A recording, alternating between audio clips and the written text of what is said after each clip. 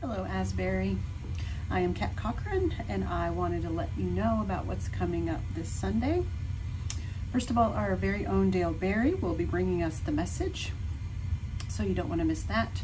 Also, directly after church, we're going to be having our church-wide potluck. So please bring a side or dessert to share, and we will see you on Sunday.